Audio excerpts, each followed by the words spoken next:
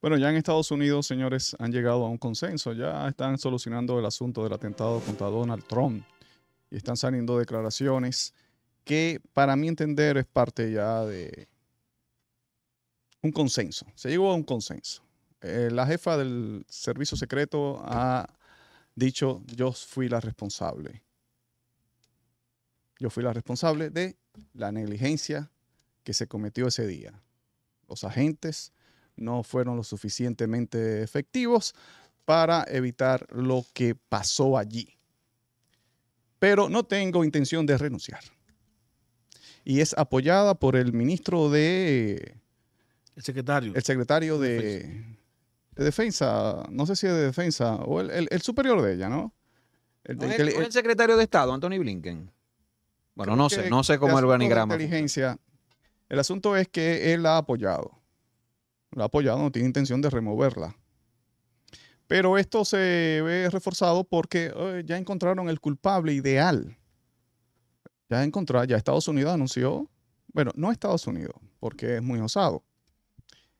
Agencias de, prensa y también CNN dijeron, tenemos fuentes. Ya tú sabes. Fuentes que no podemos revelar, obviamente. Pero tenemos fuentes que eh, nos han dicho fuentes, funcionarios que trabajan en, el, en, inteligencia, funcionarios del, Estado, que nos, han dicho de que Irán estaba planeando un atentado contra Trump. ¿no? Es decir, ya ahí tienen al culpable ideal, los iraníes. Que los iraníes, recuerden que tienen un tema pendiente con Trump, porque Trump le eliminó al... A su estrella, a su estrella a nivel, a nivel militar, a Qasem Soleimani. A Soleimani, que era un símbolo ya. Y Trump se lo eliminó. 2020. Y se la juraron a Trump. Y sí, hemos visto cómo algunos funcionarios de, aquí a allá han dicho, sí, a Trump nos la va a pagar. Y lo vamos a eliminar. Y, líderes religiosos también nos la va a pagar. Pues bien, pero eh, eso a todo presidente estadounidense. Pues ya quieren entonces culpar a Irán del asunto. Irán, por supuesto, ha, respondido inmediatamente, dice, mira, nosotros no tenemos nada que ver con eso. Eh, sí es verdad, tenemos un tema pendiente con Trump, pero en este caso nosotros no tuvimos, no tuvimos nada que ver con eso. Entonces yo digo que las cosas se están adecuando porque en otro corte analizamos de que si ya Trump, sabiéndose casi presidente de los Estados Unidos, Trump va a dejar eso así, señores. Ah, ok. Eh, el, servicio secreto admitió que fue una negligencia. Ya tenemos a un posible culpable, que es un extranjero, no nosotros mismos, porque, ah, vamos, la imagen mundial que queda, oye, pero Estados Unidos, pero Estados Unidos está igual que Ecuador. Una república bananera donde están matando presidentes. No, no, no, hay que lavarse, ¿no? No, eso viene de fuera, es una amenaza de fuera, el terrorismo, imagínense ustedes. O sea, todo concuerda. Y le aseguran entonces a la jefa de servicio secreto de, oye, tírate la culpa, que no, no, no, te vamos a proteger. Un error es de humano. ¿verdad? Pero donde el plan, bueno, el plan es perfecto, ¿no? Digo, el plan es casi perfecto, porque si consensan en que, bueno, vamos a tirarle la culpa a Irán y de hecho vamos a decir de que mm, eh, eh, esas amenazas se le, fue, se le fue informada al servicio secreto, que ya es otra negligencia de ella, ¿no? No, pero, que ella lo admite. reforzaron. Espérate. No reforzaron nada porque la prueba está allí y eso y, los hechos no se pueden. mujeres los hechos no se pueden negar, la prueba está allí. Cualquiera pudo, tú pudiste viajar a Estados Unidos, subiste a ese, galpón con un rifle, hacer lo que hizo ese muchachito de 20 años y quizá tú hubiese sido más efectivo. Es decir, ¿qué reforzaron?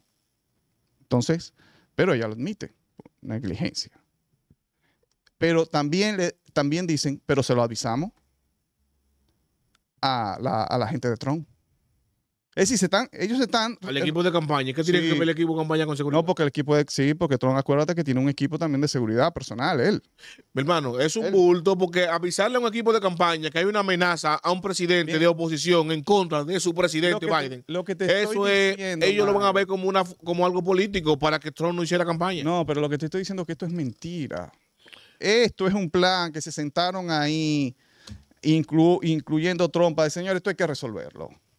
Ya tú, tú estás en la carrera de ser presidente, esto hay que resolverlo. Nosotros no podemos quedarnos. Eh, eh, tú, tú vas a comandar una nación que va a quedar con esa imagen de República Bananera. Eh, mi funcionario se va a echar la culpa. Tenemos al culpable perfecto que es Irán. Ya lo sacamos fuera de aquí. Y tú, bueno, recibieron información ustedes también. Algo de culpa también tienen ustedes por negligencia. Se descuidaron. Y todo, y todo queda ahí bien. Ya. Eso no va a pasar de, ahí. Ya eso no va a pasar de ahí y va a quedar en la mente de que, oye, un plan de Irán. Sí, mira, tú sabes que yo tengo algo distinto. Yo pienso que hay un plan, que eso, y para mí, eh, y, lo que voy a lo que voy a decir ahora, lo voy a compartir con ustedes, para mí algo preocupante. Para mí, delata aquí, de alguna manera, eh, complicidad de Estado. Para mí. ¿Por qué? Porque el hecho de que pudiera ser cierto que el gobierno le haya avisado al equipo de campaña de Donald Trump de esas amenazas iraníes, también es cierto la evidente negligencia que hubo en el manejo de la situación con Donald Trump. Y el hecho de que el servicio secreto se, de alguna manera se eche la culpa y se arme esta narrativa para justificar lo que para mí hace poner más en evidencia al gobierno del Partido Demócrata. Porque está buscando una justificación, está sacrificando a una funcionaria, ¿verdad? Y está sacando la tentativa de fuera para justificar la no investigación profunda del caso en el estado donde ocurrió. Porque lo más básico y lo más lógico del mundo es una investigación que implique la interrogación de los agentes involucrados. Había más de 50 agentes locales, policías militares, fuerzas especiales, gente, testigos que vieron todo. Y lo más, y un atentado presidencial, señor, un magnicidio. Eso no hay que ser un experto en investigación ni muy profundo. Eso se armaron a buscar información ahí, buscar evidencia que deben haber fotos, videos de la gente que estaba ahí. Y el testimonio de los oficiales que trabajaron en eso. Porque por más que se haya complotado esto, no hay forma de que se mantenga una narrativa al unísono falsa con tantos agentes involucrados. Y esta justificación que están dando ahora es acomodativa para salvar al gobierno, es no para salvar a Trump. Pues Trump ya ganó con eso, no lo mataron. Ya con eso el presidente, ya no lo mataron. Y él está victimizado.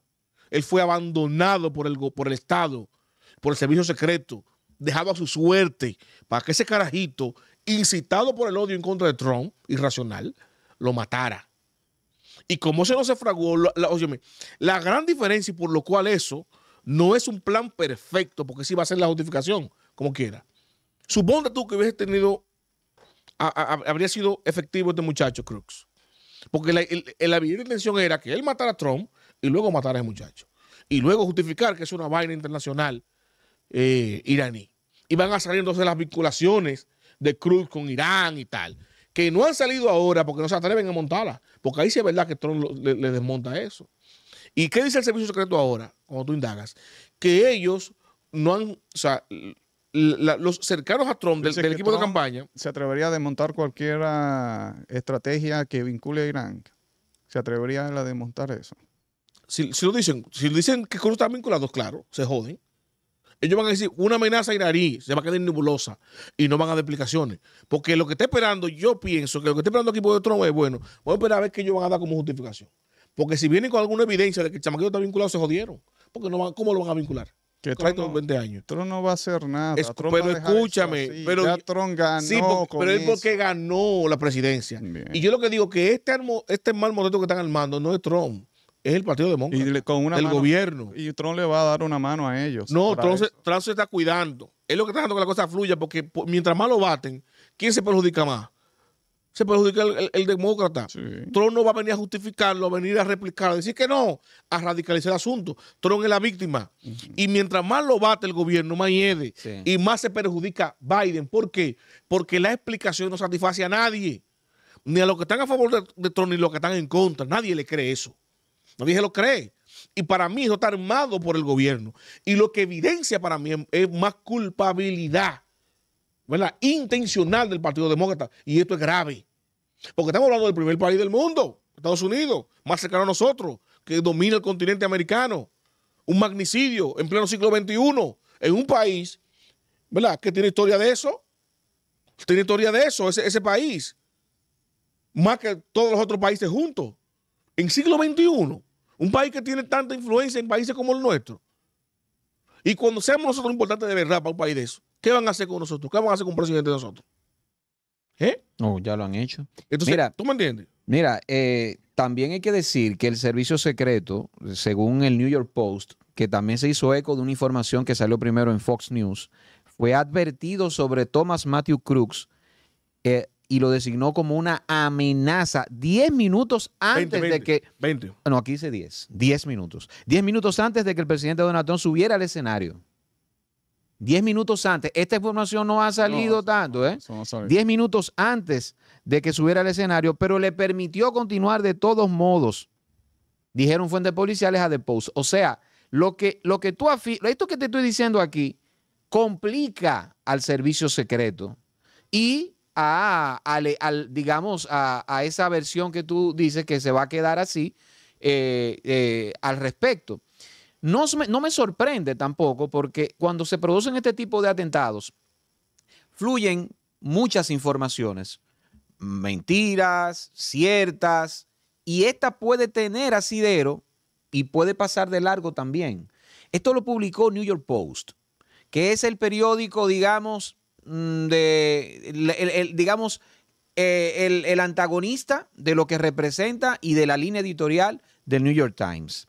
Eh, también fue advertida la agencia de que había un carácter de sospecha en el terreno más de una hora antes del tiroteo del sábado. O sea que en general fue advertida, fue advertido el servicio secreto de que había un carácter sospechoso en todo el, en todo el polígono, en todo el área.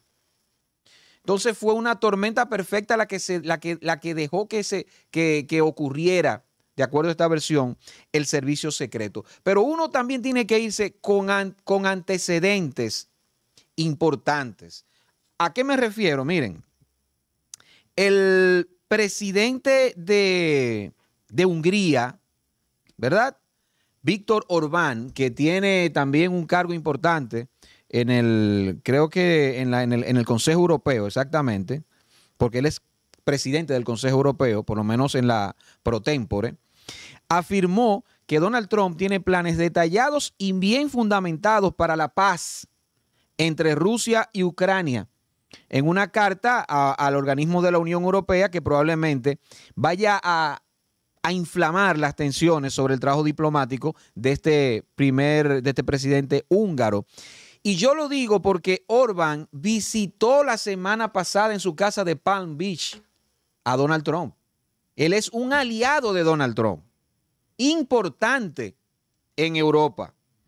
Y dice que el resultado probable de una visita de Trump significa que la Unión Europea debería reabrir, dice él, líneas directas de comunicación diplomática con Rusia y conversaciones políticas de alto nivel con China, escribió Orbán en la carta dirigida al presidente del Consejo, Charles Mitchell, eh, y que salió en, en el Financial Times. Dijo que la esperada victoria de Trump significaría que la carga financiera de apoyar el esfuerzo bélico de Ucrania se trasladaría a la Unión Europea. Y él decía que Trump le había comunicado que de ganar iba a mediar para acabar con este conflicto. Estas son informaciones importantes porque Donald Trump se opone, hasta el momento no ha salido algo lo contrario, se opone a esta guerra y ha dicho en numerosas ocasiones que él iba a acabar eso en un día. Es imposible acabar en un día con ese conflicto, pero que iba a hacer todo lo posible por terminar con él. La historia se repite. John F. Kennedy con el asunto de eh, cubano y el asunto ruso. A eso voy. La posición ya al final de Kennedy de, un de menos belicista. Lo eliminaron. Eso vino después? ¿Quién vino después? No, no, Lyndon B. Johnson eh, hacer la eh, guerra, eh, hizo, la, guerra. Entonces, lo que, lo, que, lo que estoy diciendo es que se están dando informaciones muy interesantes que no están en la primera línea, pero que debemos ir, ¿verdad? separando, ¿cómo se dice? La paja del, trigo. Del trigo, exactamente, para, para ir entendiendo las, la dimensión de este, de este atentado contra Donald Trump. Y, como decíamos en un corte anterior, ver cómo se comporta su candidato vicepresidencial, J.D. Vance, que ahora es trompista. En el pasado reciente, muy reciente, fue su más férreo enemigo. Se dice que un talento que tiene es el de cambiar posturas. Y eso es peligroso. Cambiar de posturas rápido, cambiar de posturas eh, de un momento a otro, pues beneficia a ese lobby pesadísimo, le dicen Deep State, que es el que realmente gobierna Estados Unidos. Hay que tener mucho cuidado con eso, seguir las noticias porque van a salir muchas cosas. Y para mí esto de Víctor Orban, el primer ministro de Hungría, y esa, y esa carta que ha enviado a la gente del Consejo Europeo es, es de mucho, de mucho eh, metraje, muy importante. Ahora, que, eh, tienen que, para volver a tomar el tema de Irán. Estos señores no lo ha dicho el servicio secreto, no lo ha dicho el Estado norteamericano, no. Esto lo han dicho las agencias de noticias. Y lo ha dicho CNN como eh, una fuente. El secreto, CNN es la central mediática de la CIA. O sea, a tirar eso, ¿no? Eso ahí al aire. Irán fue el culpable el servicio secreto no se ha pronunciado sobre eso. No. Ahora, que no tiene sentido, porque imagínate que sí, que fue así y que le avisaron. Se supone entonces que ya de por sí tenían que tener unos niveles de seguridad los más altos, por la figura no solamente de que es un candidato a la presidencia de los Estados Unidos, sino porque era Trump. Ya de por sí eso. Ahora, si tú sabes que hay una amenaza de un país como Irán, pues se supone que lo que tú tienes que es redoblar más la seguridad. ¿Y qué pasó ese día? Señores, ese día los agentes de servicio secreto no pudieron cubrir el 100% de sus agentes allí, sino que tuvieron que pedir a la policía local de Butler que le completara a los agentes. Entonces, cuando se armó el, problema, que, los servicios, que el servicio secreto quiso de primera como culpar de esa negligencia a los agentes de policía de, policía de Butler, diciendo es que diciendo y ellos dijeron no lo que pasa es que entendemos porque eh, hay un problema de presupuesto oye que el servicio secreto tiene un problema de presupuesto y que tuvo entonces que completar sus agentes con la policía local y entendemos que la policía local no está tan preparada como nosotros la policía local inmediatamente habló y dijo, espérense un momento, es que nosotros lo único que hicimos fue prestarles los agentes que ellos necesitaban. Ahora, todas las decisiones y toda la supervisión contaba por el servicio secreto. Ellos son los responsables de eso. O sea, se estaban tirando las papas calientes uno con otro. Pero lo que no cabe aquí es decir, tenemos poco presupuesto para la seguridad de este evento cuando ya sabemos supuestamente nosotros de que hay una amenaza contra ese candidato que va a dar un discurso ese día. Eso no tiene sentido. Claro, claro. Bueno, señores, esta es la quinta pata. Mario Herrera, José Maracayo, Edwin Cruz. Recuerda suscribirte, activar campanita, darle a me gusta para seguir creciendo y estamos en Win TVO para el Gran Santo Domingo por el canal 503 de Siembra TV de 1 a 2 de la tarde, retransmisión de 8 a 9 de la noche y también en los principales sistemas de cable del Cibao Central.